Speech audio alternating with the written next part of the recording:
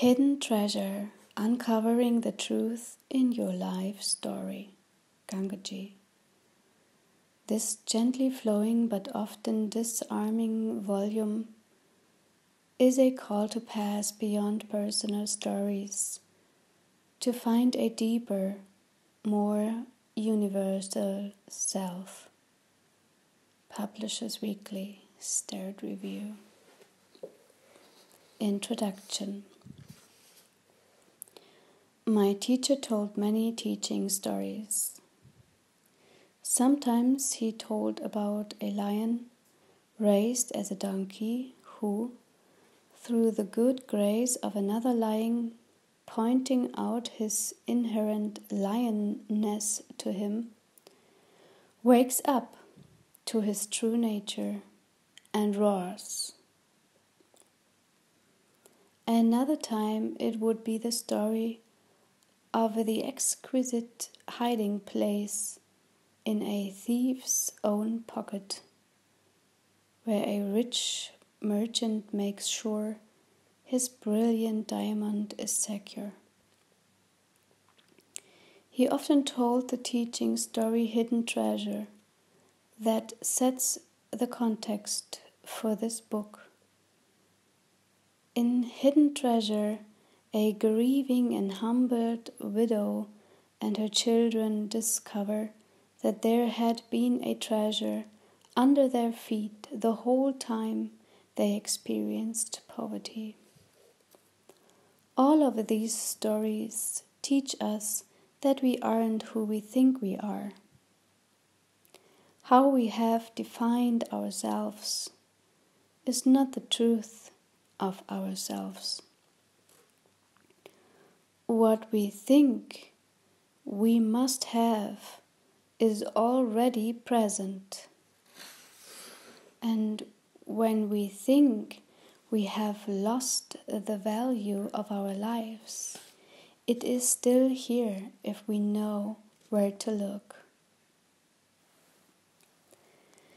This book is offered as support in discovering that our individual stories can point to what is under our noses, even if we experience it as absent.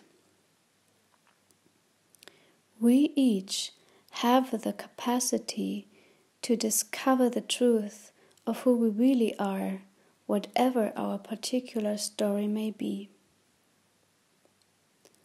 we can find the treasure in our own being that we may think we have to look for somewhere else. And we can discover that no matter how the events of our lives are arranged and rearranged, true and lasting value is here, precisely where we stand. This book is designed to demonstrate both how we keep ourselves in the dark and how, with nothing changing in our story, we can discover the light. The truth is simple, but the ways of obscuring the truth are complex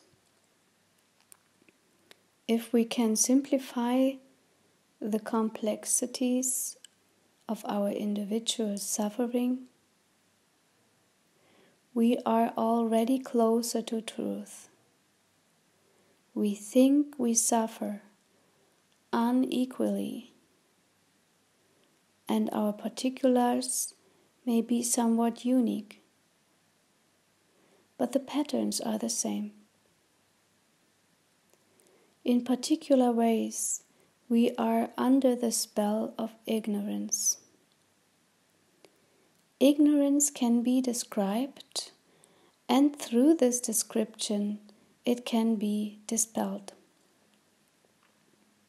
This book invites you to tell your story within the context of recognizing the peace and fulfillment that are always present in the core of your being.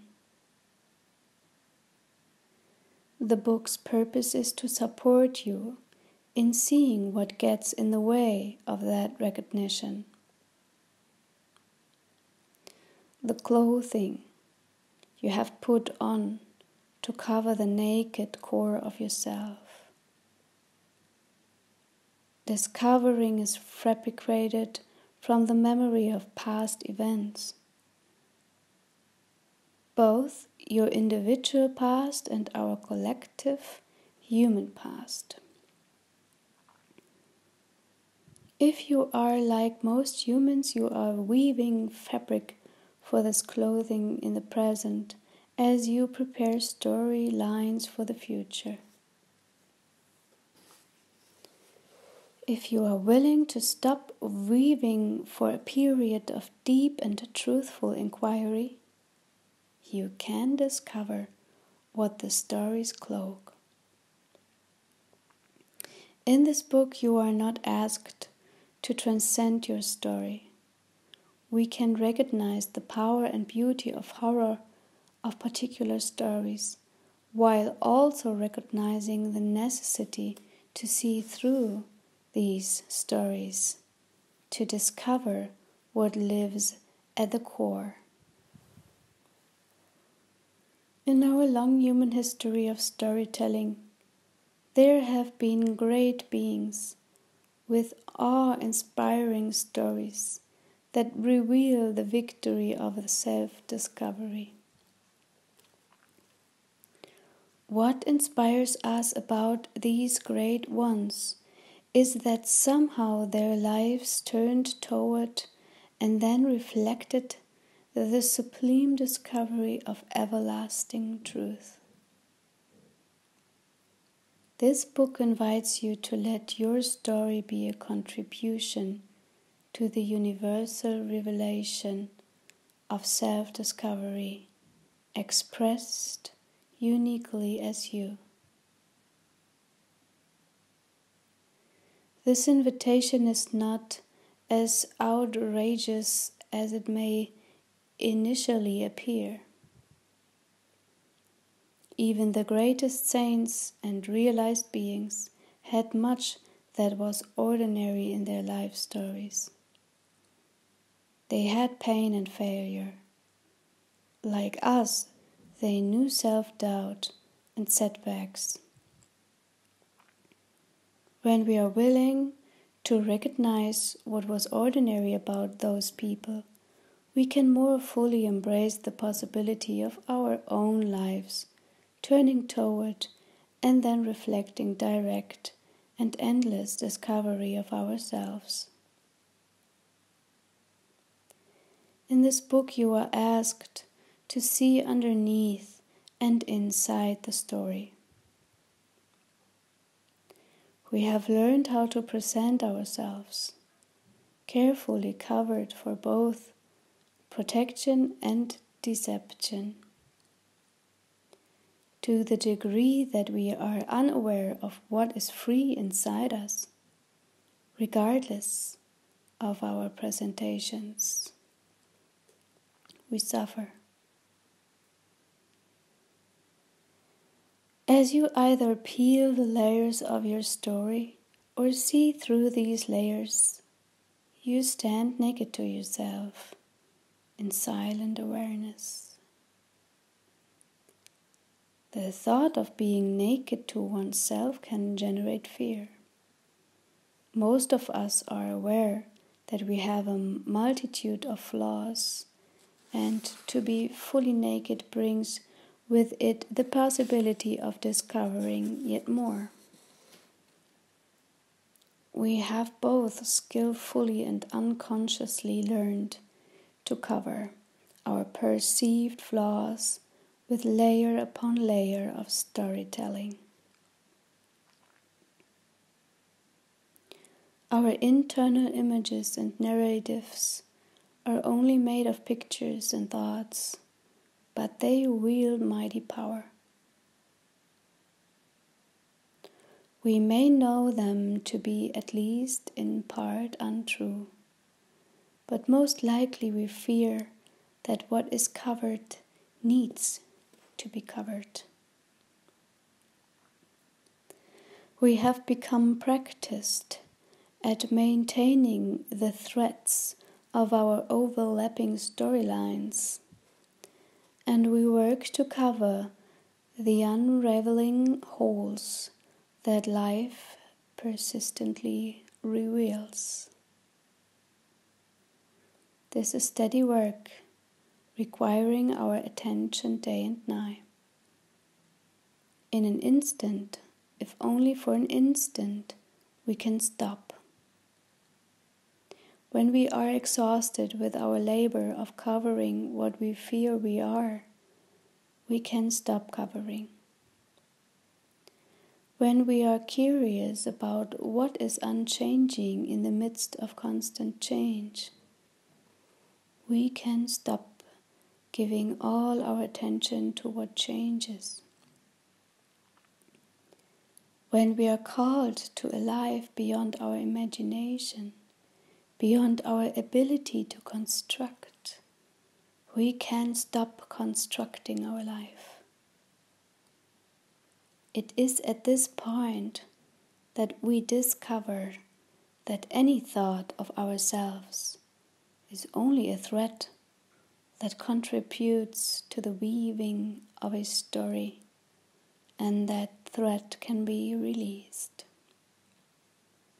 In this release, we find the strength to view ourselves without covering. Our attention can return to the silent, aware core.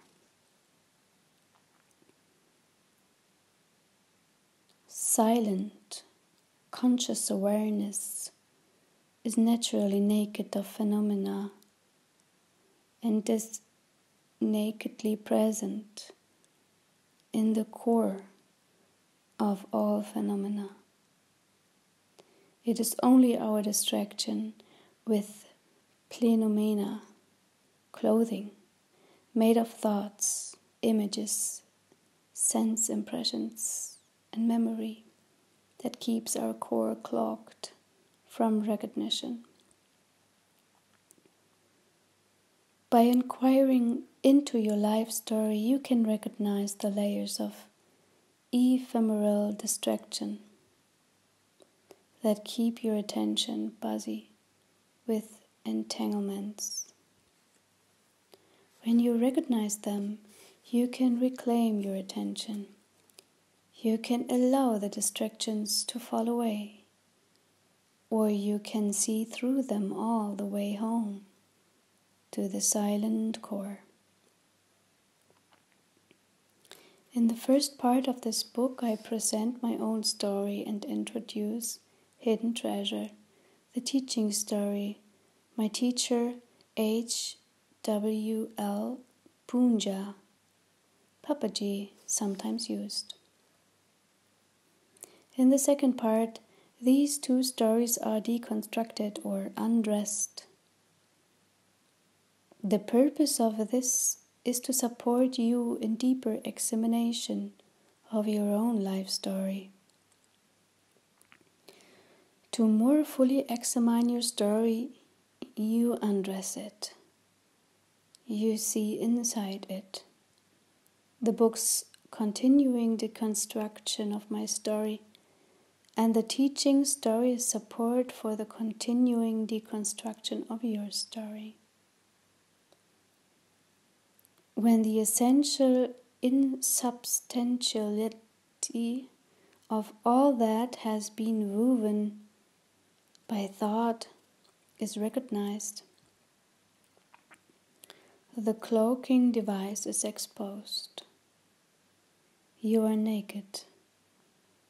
You can see the core of yourself not as another object constructed by thought, but as the hidden treasure of the truth of yourself. Silent, aware consciousness is conscious of itself as eternal subject, eternal source. The naked core in your story, in my story, in the teaching story, and in all the infinite mysterious variety of human stories. Recognition of this is the completion of a life search for fulfillment.